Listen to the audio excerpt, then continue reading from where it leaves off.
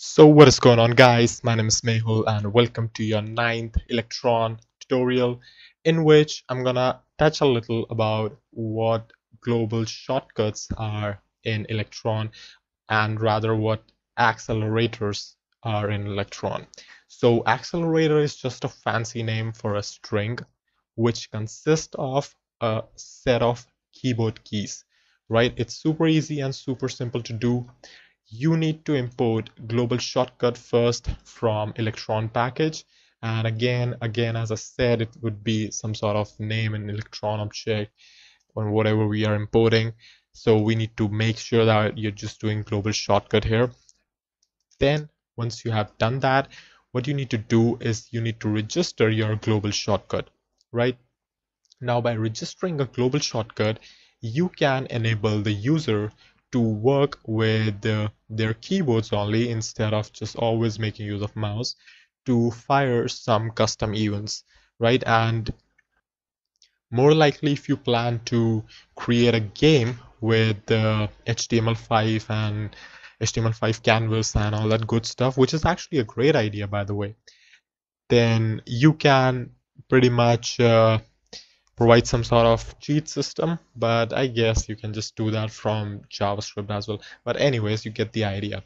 So you would pretty much need it uh, um, to fire the functions whenever your window is in focus or maybe even if it is not in focus and some other app is not eating your events right? So that is one advantage of global shortcuts over the register shortcut with javascript in render process. So you're going to say global shortcut dot register and then here goes the accelerator which is the name of the keys you need to press in order to get to your um, this method calling and this would be a function. And all that code right here would be automatically called whenever your accelerator is uh, found by electron. And for the accelerator what we can do is say command or control plus any other key let's just say one. So what this means command or control it means that either command plus one which is for mac or control plus one which is for windows and linux pcs so this kind of targets it at once you can simply do command plus one as well or control plus one as well. But command or control is just uh, just makes life a bit easy if you want to target both windows and mac at the same time for the same code. So now whenever we press command or control plus one what i can do is uh, pretty much move my this thing right here let's just say right here and we can change this window to win. So what we are essentially doing now is uh, we are saying that control plus one would be our shortcut to maximize or unmaximize our window right? So let's just see.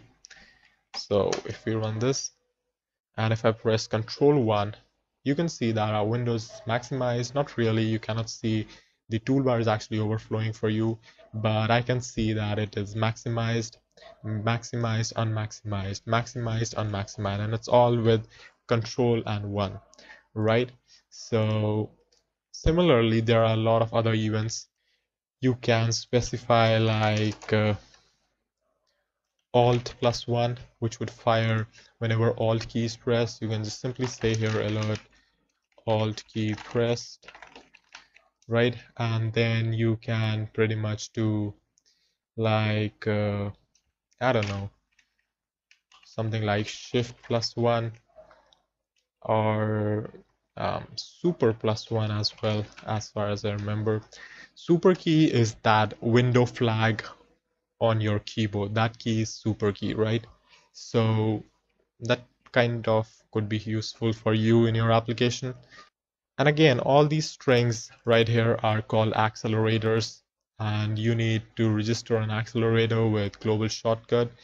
Now you can target a lot of keys with these accelerator like uh, numbers, letters, and uh, uh, pretty much everything you have or you would need on your keyboard, you can target that. Even function keys, I guess, something like that. F11 or F12 or whatever.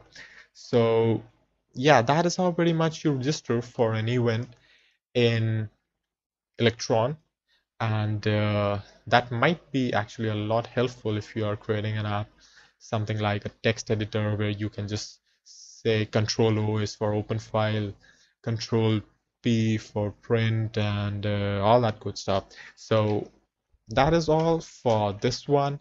And in the next one we're going to discuss something again amazing about electron. I don't know what but that would be amazing. So that is all for this one. And if you liked it then don't forget to subscribe. Don't forget to like the video. And that's all for this. I'll see you then in the next one